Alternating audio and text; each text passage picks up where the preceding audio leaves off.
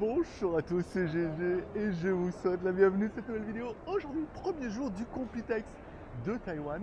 Il y a beaucoup de monde. Il y a beaucoup, beaucoup de monde. Euh, pour l'instant, pas de panique.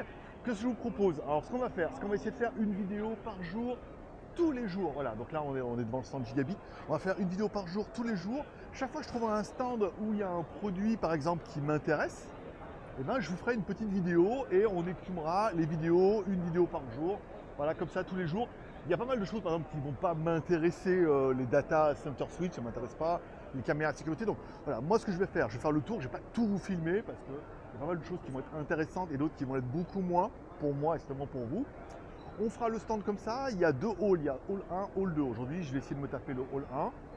Il y a déjà de quoi faire, à mon avis. Il y a déjà donné quoi donner de la carte de visite. Et ensuite, soit il n'y a pas tant que ça et aujourd'hui je fais le hall 2, soit on fera le hall 2 demain. Voilà, il se permettra d'écumer un petit peu euh, sur différents, différents jours pour vous. Et voilà, donc je vais enchaîner le premier stand après cette vidéo. Et après, ça sera un stand par jour, tous les jours sur GG Vidéo. Donc tu t'abonnes, tu mets ton plus gros like, euh, ton meilleur commentaire en disant bah, que c'est bien parce que bah, c'est toujours les salons. C'est assez éprouvant parce qu'il y a beaucoup, beaucoup de stands, beaucoup de choses à voir. Et tout n'est pas forcément intéressant pour ma cible, mais il fallait être là. Allez, on se retrouve tout à l'heure. Premier stand. Bon, vous le verrez, c'est très très hardware dans un premier temps, hein. très très matériel informatique. Euh, là, on est très réseau en plus, donc c'est assez compliqué. C'est pas trop mon délire.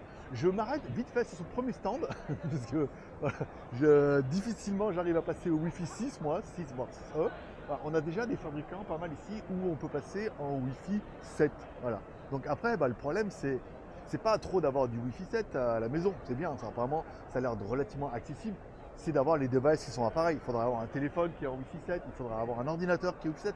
Puisque si vous avez que le réseau, bah, c'est bien. Vous allez pouvoir connecter plein d'appareils dessus parce que c'est rétro-compatible.